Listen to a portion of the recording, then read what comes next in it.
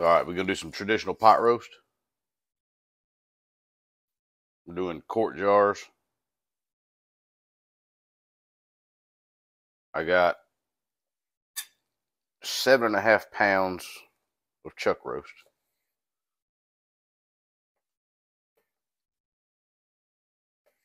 We're gonna cut up, cube it up,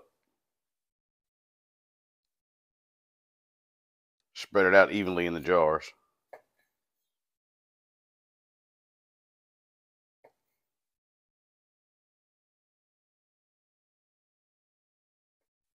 And then uh,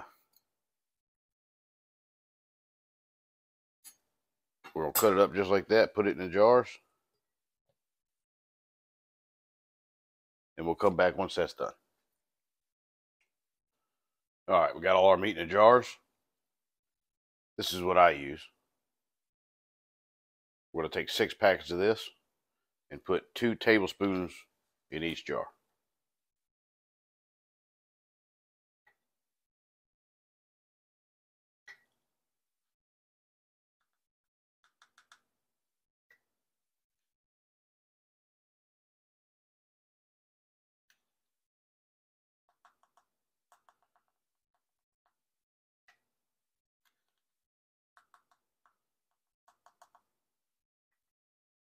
Going to keep going until we get all jars full. All right, I lied. It was only four packets for two tablespoons apiece. I already went ahead and cut up one whole onion and I cut up five pounds of potatoes.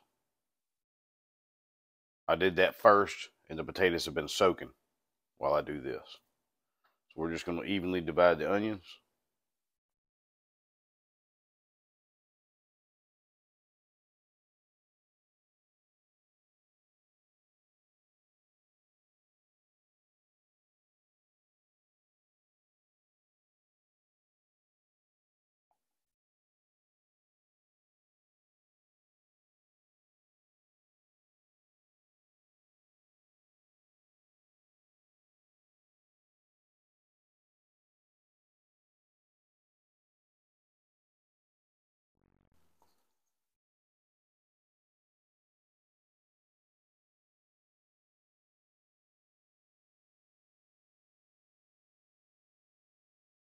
All right, onions in. All right, first thing I did was peel and cut the potatoes and then had them sitting in a bowl of water, soaking to get rid of some of the starch.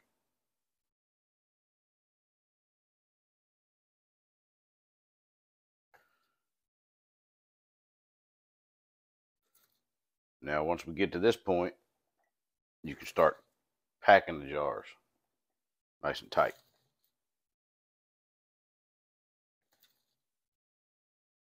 Some folks like celery. This is a good time to put your celery in.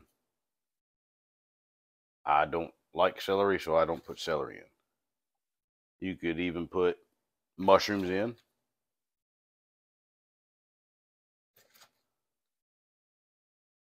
Whatever you like. We're going to start packing it as tight as you can get it.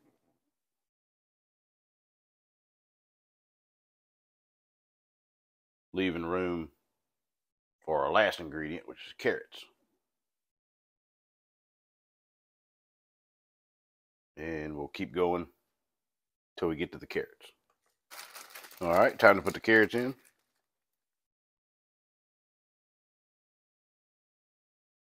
Now that it's getting full, you can really cram it in there. You still want to leave about a one inch headspace.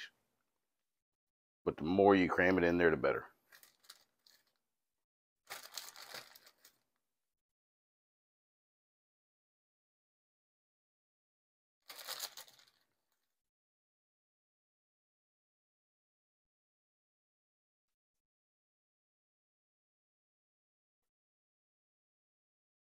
Don't be afraid to stuff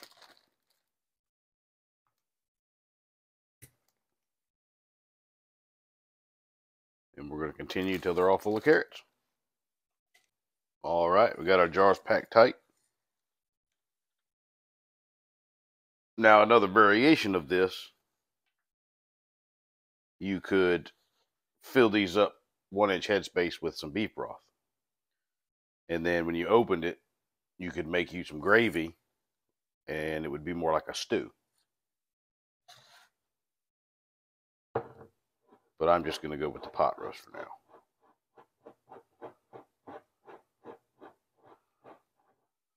Wipe our rims.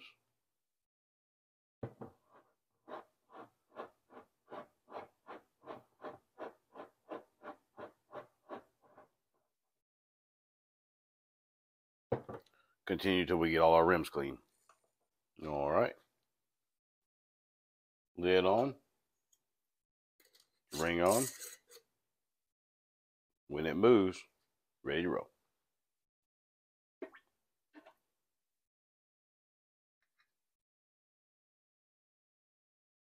Lid. Ring. Just like that.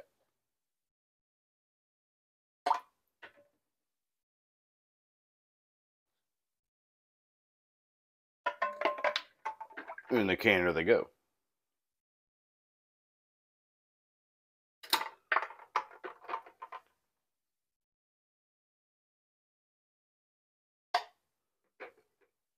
On.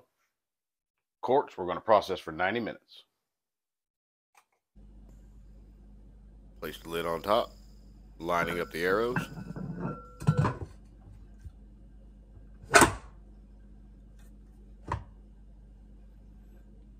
Now here you want to make sure the lid is level.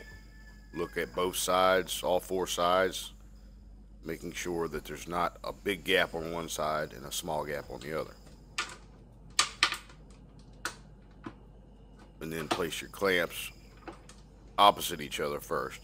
Lightly, lightly screw them down. Opposite sides, screw them down. And the goal here is to keep it straight, so you're going to do opposite sides a little at a time. And work your way around till they're all tight.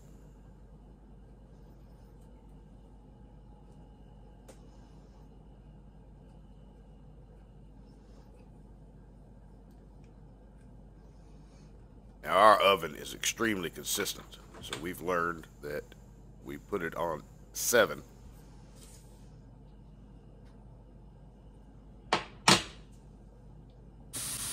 and now we're going to wait. Once it starts venting, you'll see about that high. You don't always see the steam. But when you can feel it 12 to 18 inches above the pot coming out pretty strong, that's a strong vent. You're going to set a timer for 10 minutes and let it vent for 10 minutes. And then you're going to place your weight on it. Just like that. and then you're going to keep an eye on it. Once it starts to jiggle, it comes up to 10 pounds of pressure, or the pressure for your area. That's when you start your timer for your food. Here we got pints of meat, so we're doing 75 minutes. Now that we started jiggling, we're going to turn it down to 6 on our stove. Just like that. And we've got our timer set for 75 minutes.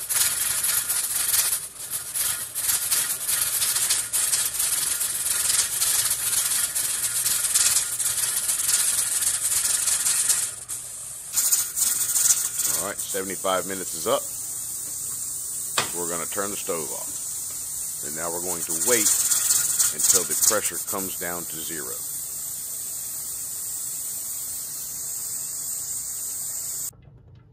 All right, pressure's at zero.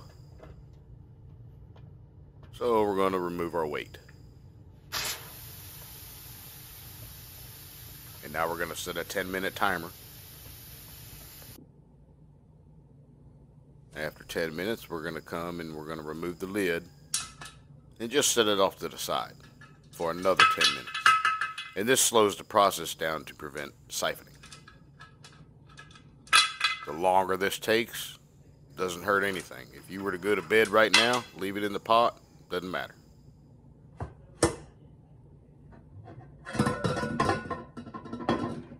We generally do more than one batch a day, so usually about 10 minutes.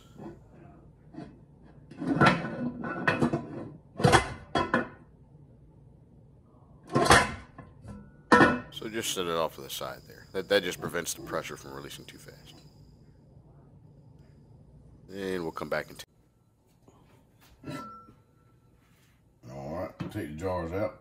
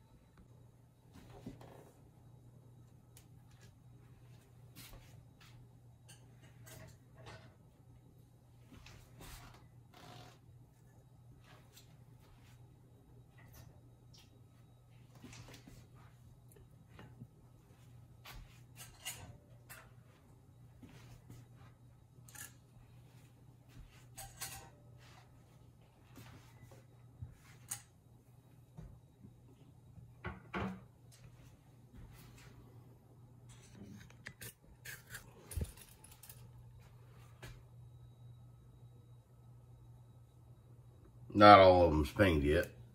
There's a couple that haven't pinged. But when they're bubbling and boiling like that, they will. Give them 12, 24 hours. Don't touch them. Don't mess with them. Don't tighten the rings. Don't take the rings off. Don't push the buttons. Just let them be for 12 to 24 hours. And you'll be good to go. All right, we're gonna cook up the traditional pot roast. Basically, we're just gonna heat it up in the in a, the pot.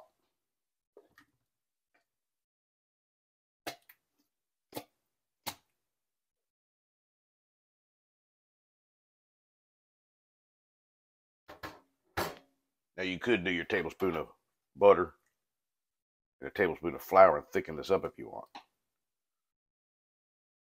and it'll be more like a stew.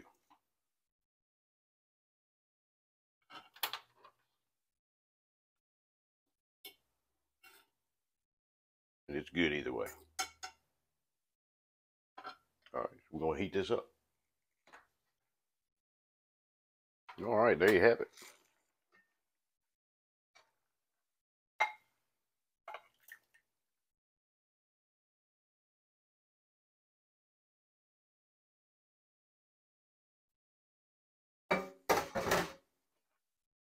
I like to add a little Tony's to mine.